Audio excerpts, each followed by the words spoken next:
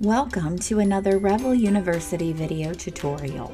This video will highlight the point of sales end of day process. This includes how to customize the process on the management console, as well as how to complete the end of day process on the point of sale. As with all of our tutorials, you can jump ahead to any topic that is most important to you. All of our videos have a table of contents listed below along with other videos and support articles. So let's get started with setting up the end of day process. As a business owner or manager, you've got plenty to take care of after a long day's work. With Revel's end of day process, you can automate your end of shift or closing procedures to quickly close open orders, process offline payments, confirm time cards, and more. The end of day wizard requires a bit of configuration on the management console first. To access the settings, log into your management console and navigate to the settings tab. Click on clear selections and in the search box type end of day. Check the box for end of day from the left sidebar for the settings to appear on the right. If you would like to trigger a reminder on the point of sale for employees to run the end of day process, you can use the reminder time field to set one up. You can also use the settings in this section to customize your end of day process to fit your business needs. There are some additional settings available with the end of day process. For more details, please check out that article below. To activate the end of day process, be sure to check the very first box to activate. Go through whatever settings and activate as needed and be sure to save. To run your end of day process, let's look at the point of sale.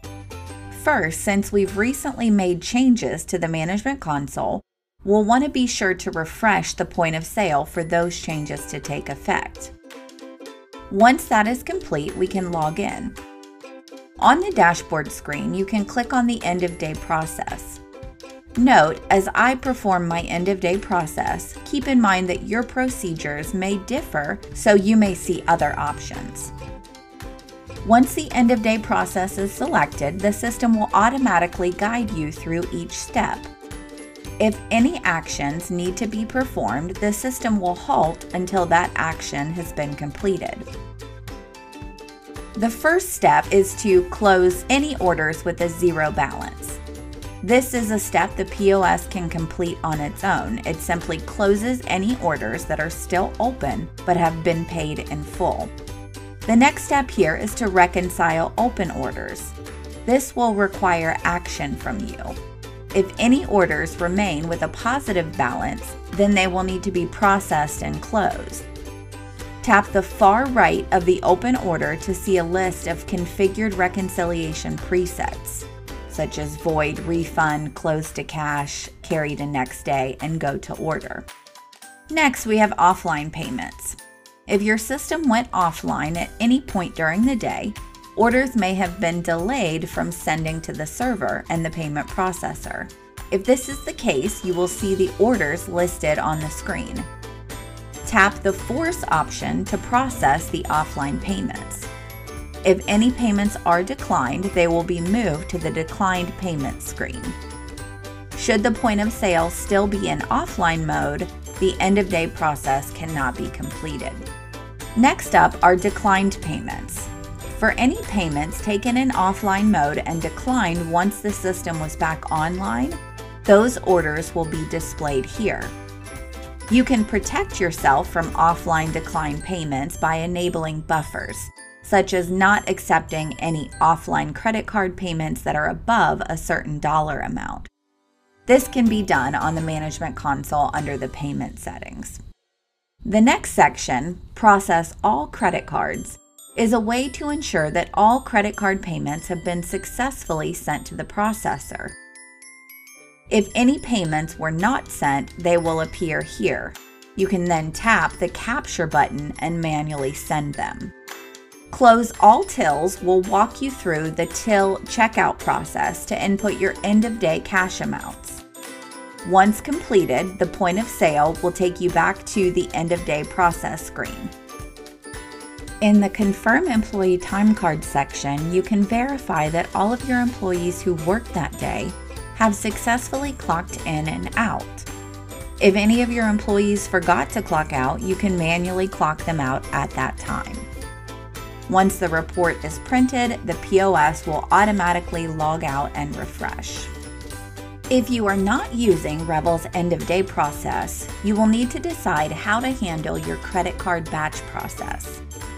You can choose to perform this manually or schedule the system to do it for you automatically at a set time of day.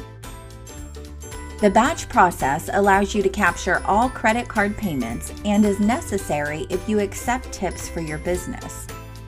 Please note that if you do not batch process, you will not collect the payments for credit card transactions. Batch processing needs to be completed once every 24 hours. So let's first see how to perform this manually. To begin the batch process, navigate to the dashboard on your point of sale. Under Operations, tap Payments Waiting to Batch. Capture each payment individually by selecting the capture next to each transaction, or select the Capture All button at the top of the page. It's important to note that once you capture a transaction, the value cannot be edited. So be sure to verify the tip amounts before tapping capture. You can also use the search bar to find a transaction by the transaction ID, order ID, last four digits of the credit card, or by the cardholder name. If your point of sale stations are in a syncing environment, only one batch process is necessary from the main station. Otherwise, batch processing will need to be completed on each POS station. Once again, you'll need to complete the batch process once every 24 hours. If you forget to batch the previous night, the point of sale will give you a warning the following morning reminding you to do so. Unbatched transactions will only stay on your batch screen for three days. After you've input tip adjustments and captured the payments, your batch processing is complete. Additionally, you can opt to have Revel automatically capture your payments at a certain time of day. Let's see how to configure auto capturing payments. From the Management Console, navigate to the Settings tab and click Clear Selections. In the search box, type Auto Capture and then check the option from the search panel on the left. On the right, enable this feature by checking the box for Auto Capture. Next, enter the desired time for the auto capture to take place. It's important to note all employee tips must be entered before the auto capture time. Save when finished. When using auto capture, you must make sure that your iPad has the following configurations. Auto lock is set to never. Both the iPad and the management console must be set to the same time zone. And push notifications must be enabled for the Revel point of sale app. Lastly, a few key things to remember. You must ensure that your point of sale is powered on and that the Revel app is open. The iPad cannot be in sleep mode, powered off, or disconnected from the Revel network. Putting the iPad into sleep mode will cause the iPad to temporarily disconnect from Wi Fi. And finally, if tips are not entered before the time of auto capture, you will have to work with your credit card processor in order to make any adjustments. And that's it for auto capture. Once it's set, it will automatically perform at the scheduled time. So that wraps up the end of day procedures. We hope you found this tutorial helpful and were able to follow along to complete the necessary steps. If you have any additional questions, please visit the related knowledge base articles or video tutorials linked below. Thank you for watching another Revel University video tutorial.